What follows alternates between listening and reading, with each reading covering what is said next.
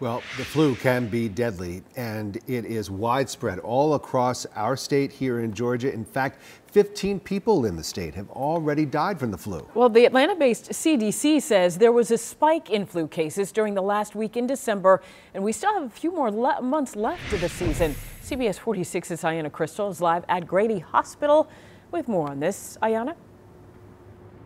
Tracy, uh, the flu is on the rise and worse than ever. Here at Grady, they have seen an uptick in flu cases. And since the flu season started, more than 500 people in metro Atlanta have been hospitalized from the flu, and 15 people have died.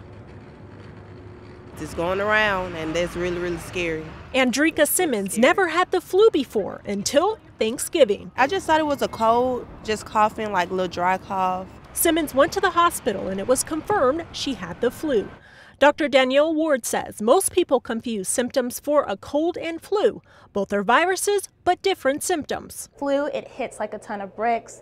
You feel just tired, run down, you have muscle aches, you have the fever associated with it. Whereas with upper respiratory, that's just the cough, the congestion, sore throat, that people generally have. With kids back in school, Jackson County Schools is warning parents after their flu outbreak before the holidays to wash their backpacks and school items to avoid spreading germs. Urgent Care Atlanta has seen patients every day testing positive for the flu.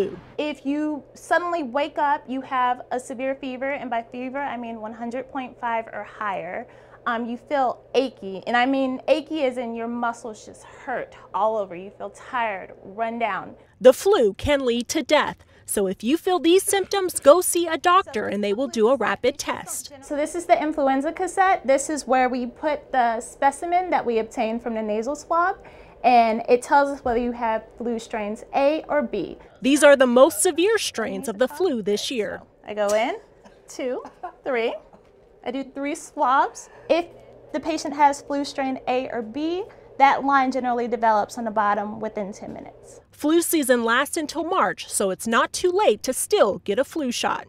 Now, I wish I would have gotten it, and I'm still going to get it just in case.